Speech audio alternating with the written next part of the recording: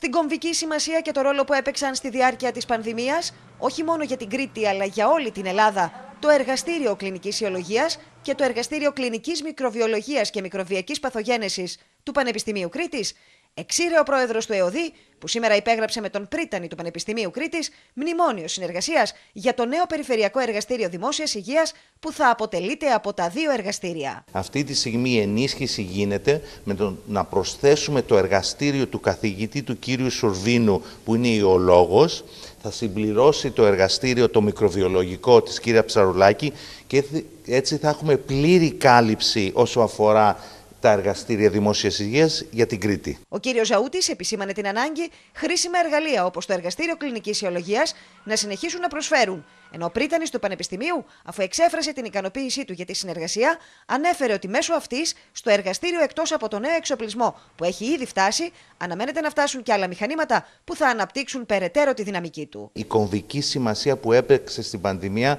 το εργαστήριο το ιολογικό του Πανεπιστημίου της Κρήτης. Όχι μόνο στην Κρήτη, αλλά σε όλη την Ελλάδα. Στήριξε όλη την Ελλάδα όσο αφορά την πανδημία COVID και έτσι θεωρούμε πως πρέπει να παραμείνει σαν ένα ισχυρό εργαλείο της δημόσιας υγείας αυτό το εργαστήριο. Καταρχάς ε, έχει έρθει εξοπλισμός ο οποίος ε, είναι ό,τι πιο σύγχρονο υπάρχει από όσο ξέρω ε, στην διαγνωστική προσέγγιση παραγόντων που προκαλούν ιώσεις ή βακτηριακές λοιμώξεις. Ε, αυτό είναι πάρα πολύ σημαντικό γιατί δεν φτάνει μόνο να έχεις το ανθρώπινο ή το επιστημονικό δυναμικό, πρέπει να έχεις τα μέσα.